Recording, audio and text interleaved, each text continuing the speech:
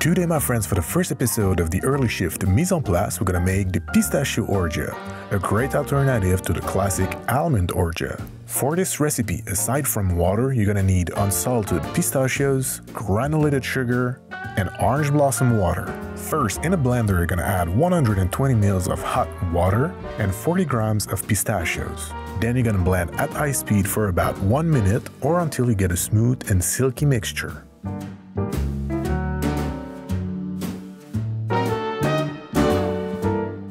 Then, once you're done, you're gonna need one large bowl, a nut milk bag, and I highly recommend a potato ricer. You gotta pour your mixture through the nut milk bag over the large bowl, and then using the potato ricer, you gotta squeeze to extract as much milk as possible.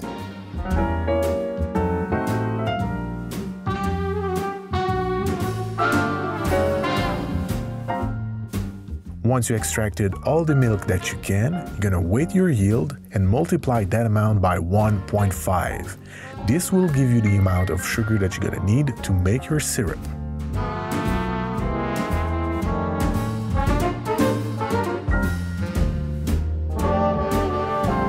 Then you're gonna stir until the sugar is dissolved. After that, for every 100 ml of syrup, you're gonna add 1 ml of orange blossom water.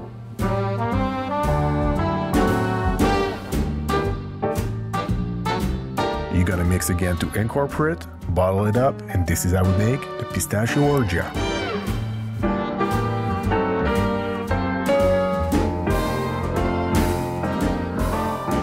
So, as I said, this is a great alternative to the traditional almond orgeat, and we're gonna use it this week on Friday in a cocktail. You can also use it in pretty much any drinks that ask for a regular orgeat, and you're gonna see it's gonna take your cocktail to another level.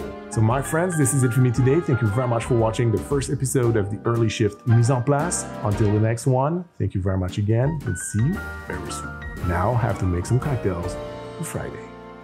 Bye.